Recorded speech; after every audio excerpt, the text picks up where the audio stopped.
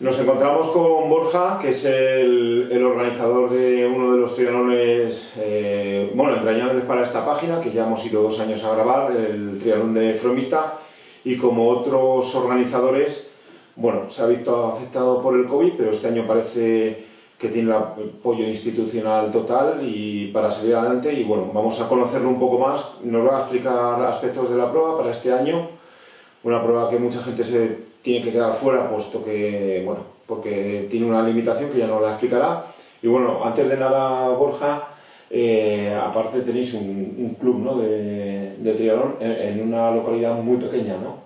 Sí, bueno. ¿O cómo empezó todo? Muy buenas. Sí, sí, tenemos ahí en Fromista, eh, pues ahí en 2014 creo que empezamos, cuando hubo el boom de las carreras populares. Mm. Eh, decidimos, joder, ¿por qué aquí en Fromista no podemos hacer unas camisetas? Y bueno, eh, la idea surgió de, de, mí, de mi hermana, y, dijimos, bueno, pues ¿por qué no hacemos un club? Y sobre hacer un club de atletismo, solo de correr, dijimos, bueno, pues hacemos un club de triatlón. Ya, ya, puestos. Y ya puestos, hicimos el club, y bueno, poquito a poco, pues al final se fue apuntando gente del pueblo, y, y, en esas estamos. Del pueblo, bueno, y, de, la, comarca. Sí, sí, no somos muchos, la verdad es que ahora mismo somos 25, 26 eh, no todos practicamos triatlón y todos estamos federados, pero bueno, eh, ahí vamos haciendo cosillas poco a poco. Bueno, cosillas que tienes un triatlón que eh, es de los mejores que he visto de, bueno, de, de distancia olímpica eh, sin drafting. Eh, ¿Cómo surge la idea de hacerlo con drafting? No sé si tenéis dudas, con drafting, sin drafting. Bueno, pues la, la cosa también surgió un poco, pues eso, eh, pues, ya ves que el boom que hubo con las carreras y con todo, con todo el tema, y dijimos, joder, ¿por qué en Fromista no podemos hacer un triatlón? Y bueno, empezamos en la primera edición en 2015 y hicimos un, era un sprint con drafting, y en aquella edición, pues bueno, hubo 95, 98 participantes, y bueno, pues poquito a poco eh, la cosa fue para adelante. Al año siguiente volvimos a hacer eh, distancia sprint, pero ya sin drafting. Porque al final, la verdad es que yo soy un apasionado de las pruebas sin drafting. Y probamos. Eh, en esa segunda edición ya cubrimos las plazas, 140 plazas. y luego la siguiente, que fue en el 2017, ahí volvimos a hacer sprint sin drafting, subimos a 200 y también cubrimos. Y ya al año siguiente decidimos que, pues, que si queríamos que en el pueblo la gente, vendría gente de fuera, yo al final, nosotros somos triatletas y sabes tú que al final desplazarte dos, tres horas para hacer un sprint, eh, pues como que no. Entonces dijimos, pues vamos a hacer distancia olímpica para que la gente ya pues se quedase a dormir una noche y que se generase pues eh, ambiente de triatlón todo el fin de semana. Y es cuando ya decidimos hacer eh, distancia, distancia olímpica. Y has hablado de 200 plazas, es la limitación que tenéis, bueno, no sé si podéis llegar un poquito más, pero claro, esto todo está limitado por el canal, ¿no? A ver, más que por el canal, eh, al final, eh, este año... Se, nada, hay que decir que se nada en un canal, sí, en el no sé si tenéis el, el, mismo sitio para este año. sí, sí, sí, al final tenemos que nadar allí eh, por narices, no tenemos otro sitio, no tenemos una playa, ni tenemos un lago, entonces hay que nadar en el canal.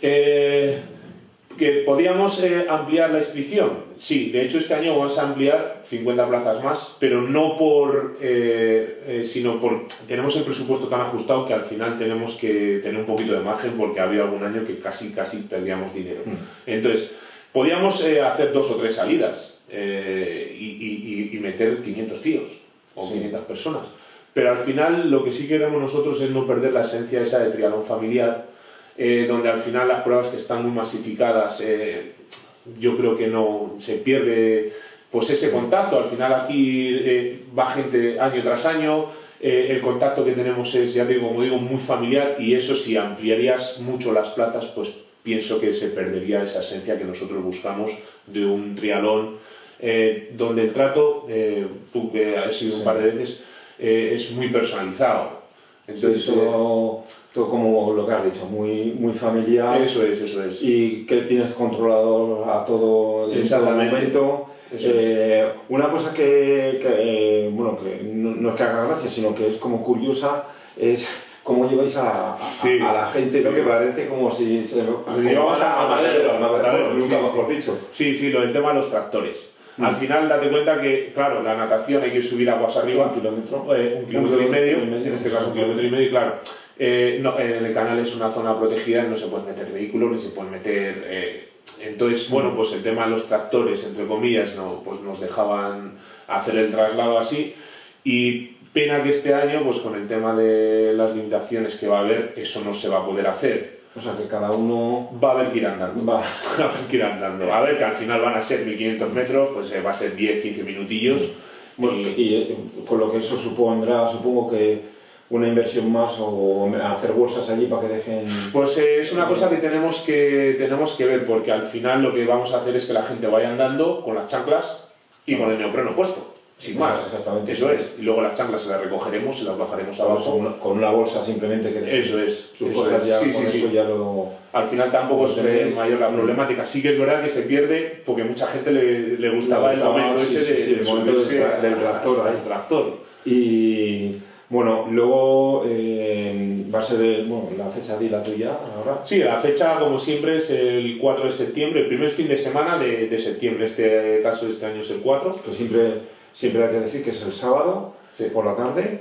Eh, recibir mucha gente, sobre todo, o sea, aparte de gente de Castilla y León, de donde más suele venir País Vasco y Santander, ¿no? O- A ver, eh, al final, eh, según hemos mirado luego las estadísticas cuando acaba la prueba y tal, está claro que de Madrid viene mucha gente porque pilla cerca. llegan a Sí. una hora y media, Sí, sí, horas. sí, del País Vasco también viene mucha gente. Al final yo creo que más o menos el 70% es gente de fuera de Castilla y León.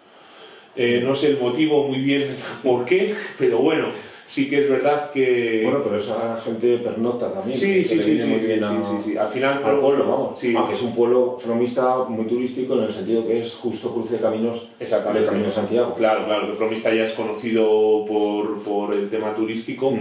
y, no, y podemos hacer al final también tener una prueba donde se queda tanta gente a dormir es porque Fromista está preparado, porque al final tiene pues cerca de 300 camas y, y- y puede soportar esa, esa cantidad de gente a dormir, a comer y a todo.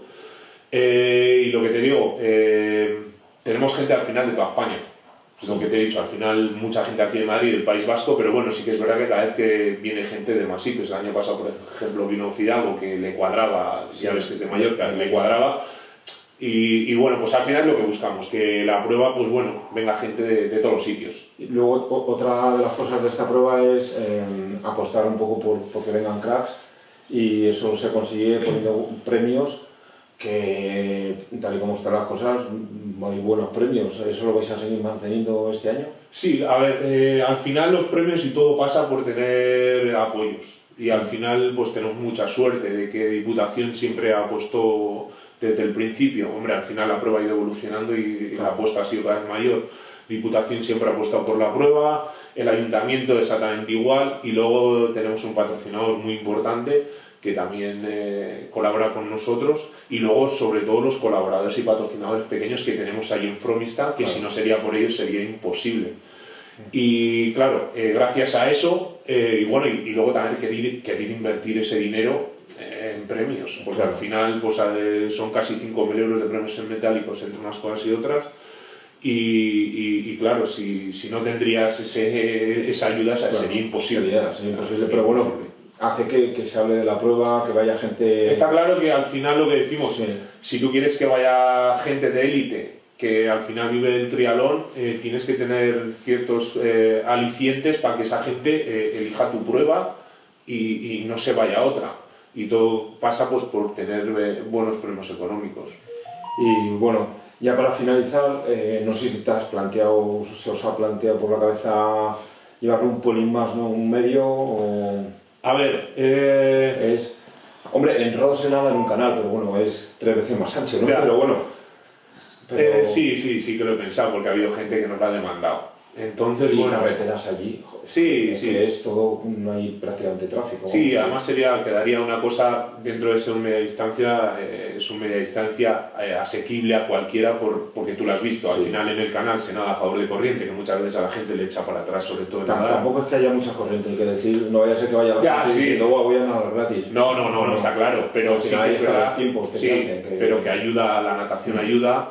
Luego la bici, pues al final es una bici, sí que es verdad que al final allí lo que... Lo que mm, El viento. El viento, el El viento viento. te puede hacer eh, pasar un poquito mal, pero bueno, es una, una, una bici rápida, eh, llana, Y luego sí que es verdad que la carrera a pie tiene su aquel. La carrera a pie tiene su aquel. Pero bueno, a la pregunta que me hacías de la media distancia, pues eh, lo hemos valorado, lo estamos valorando y bueno, veremos a ver si este año conseguimos sacar la prueba adelante. Siempre, eso seguro que sí. Esperemos que sí, que nos den los permisos y, y igual es eh, este año, el último año que hacemos distancia olímpica, pero no, lo sé, no sé, tenemos no que valorar a, más no vamos cosas. a cosas, que salga bien este es. Eh, teóricamente, cuando pensáis abrir inscripciones? A ver, eh, por normativa de la Federación de Castilla y León, 40 días antes. O sea, queramos abrir antes, no se puede. Pues nada, habrá que estar atentos a finales de julio. Eso es. eh, Y, y nada, pues valorar eh, iniciativas como esta, de otro tipo de triatlón, o sea, más mm, enfocado a la larga distancia y, y enhorabuena, y que salga adelante. muchas gracias. Venga, un saludo. Chao.